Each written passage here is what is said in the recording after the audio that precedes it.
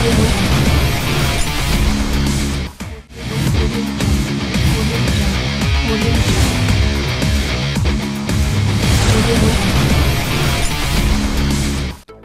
lạc bộ Game đang có phong độ khá tệ kể từ đầu mùa giải.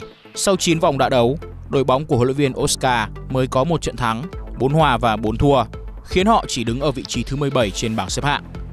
Rõ ràng với phong độ yếu kém và thua xa cả về lực lượng lẫn trình độ, việc Rennes có điểm trước nhà đương kim vô địch là Paris Saint-Germain tới đây là điều bất khả thi dù họ được chơi trên sân nhà. Bên kia chiến tuyến thì Paris Saint-Germain cũng mới để đại diện Bồ Đào Nha là Benfica cầm hòa tại đối trưởng Cúp C1. Kết quả này dù không như mong muốn, nhưng dẫu sao thì huấn luyện viên Gantier vẫn có thể tạm yên tâm khi mà hầu hết các lượt trận lượt về, đội bóng thủ đô Paris đều được thi đấu trên sân nhà Parc des Princes. Trở lại với đấu trường Ligue 1, Paris Saint-Germain sẽ có chuyến hành quân tới sân của Rennes ở vòng 10. Đây là cơ hội tốt để Messi và các đồng đội có thể gia tăng khoảng cách với Marseille đang chỉ kém 2 điểm ở vị trí nhì bảng. Rennes sẽ không có sự phục vụ từ Junita Ito, tiền vệ người Nhật Bản đã nhận thẻ đỏ trong trận gặp Troa ở tuần trước. Điều này ảnh hưởng khá nhiều tới sức tấn công của đội chủ nhà trong trận đấu tới, đặc biệt là trong những pha phản công. Đội bóng này sẽ trông cậy vào sự tỏa sáng của Balogan Folarin, người đã ghi 6 bàn thắng mùa này. Trong khi đó thì Paris Saint-Germain không có quá nhiều vắng mặt đáng kể với sức tấn công mạnh mẽ từ bộ ba tiền đạo trên hàng công. Không quá khó để Messi và các đồng đội có thể tạo ra được sức ép trước đội bóng nằm ở nửa dưới bảng xếp hạng này.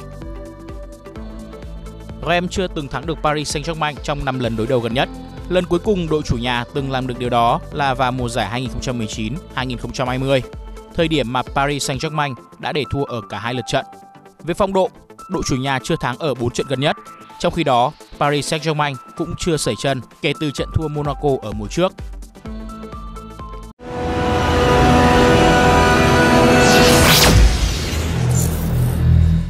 Ở trận này, Paris Saint-Germain chấp Rennes 1/3 phần 4.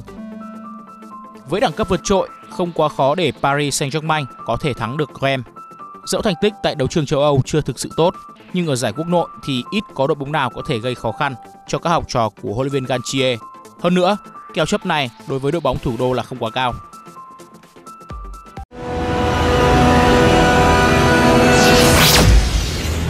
Tỷ lệ tài xỉu của trận đấu này là 3 1 phần 4 ở 5 trận đấu gần nhất, Rem chưa từng một lần chọc thủng lưới của Paris Saint-Germain.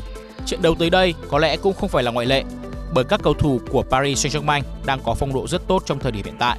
Việc phải chia điểm tại Champions League vừa rồi sẽ là động lực để đội khách có một trận đấu bùng nổ bàn thắng. Dự đoán của thể thao và văn hóa Paris Saint-Germain thắng Rennes với tỷ số 3-1.